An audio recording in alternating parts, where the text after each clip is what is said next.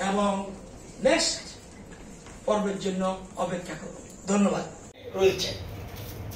যখন যেটা হবে সেটা আমরা একসাথে বলে দেব।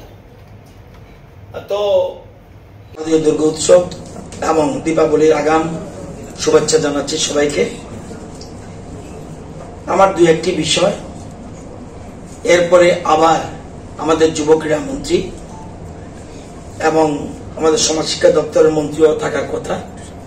বেশ কিছু চমকপ্রদ এবং সরকার কীভাবে কল্পতরু, এটা ফলো করবেন। ওরা বলবে সুন্দর করে। আপনারা জানেন, আমার শিক্ষা দপ্তরে, শুধু বিদ্যালয় শিক্ষা দপ্তরে,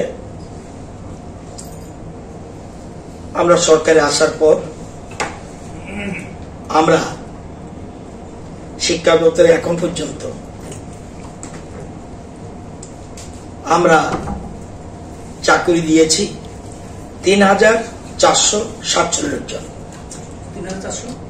তিন হাজার চারশো? সাতচল্লিশ। Three four four seven teacher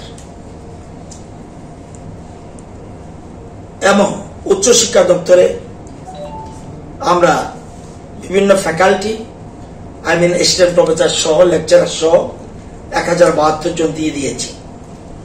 সাতাশ তারিখ দুশো ছাপ্পান্ন জন, আজকে দুশো আটান্ন জন, এবং পিজিটি ওয়ান সেভেন্টি নাইন এটা টেট না পিজিটি ওয়ান সেভেন্টি নাইন তাদেরকে অফার দিয়েছি।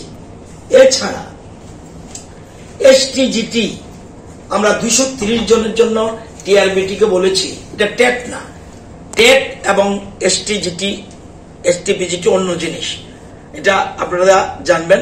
টিআরবিটি পরীক্ষা নেয়, কিন্তু টেট এবং এসটিজিটি এবং এসটিপিজিটি একটু পার্থক্য রয়েছে। তো আমরা যে সংখ্যাটা বলব, যেমন এসটিজিটি দুইশো তিরিশ চেয়েছি, ওরা তিরিশ, দুইশো তিরিশই দেবে। যারা টপ করেছে তাদের দেবে। আমি যদি দুইশো সত্তর চাইতাম, দুইশো সত্তর দিত, যদি কোয়ালিফাই থাকে। যাই হোক, এসটিজিটি আমরা দুইশো তিরিশ চেয়েছি, তাদের পরীক্ষা হয়ে গেছে যে কোনো দিন রেজাল্ট আউট হবে। করেছে যে natural cooling structure for fruit and vegetable preservation বাঁশ দিয়ে, যেহেতু আমাদের রাজ্য বাঁশ একটা সমৃদ্ধ জিনিস, আমাদের রাজ্যের প্রচুর বাঁশ আছে, এই বাঁশ দিয়ে কীভাবে কুল রাখা যায়? ফ্রুটস ভেজিটেবলস এই জন্য সে এটা করেছে। এই মডেল সারা দেশে সেকেন্ড হয়েছে। একটা সেকেন্ড একটা ফিট পজিশন আমি আমরা আমরা আমাদের রাজ্যের মুখ্যমন্ত্রী স্বপ্ন দেখছে। কি? এক ত্রিপুরা শ্রেষ্ঠ ত্রিপুরা। দেশের প্রধানমন্ত্রী দেখছে, এক ভারত শ্রেষ্ঠ ভারত।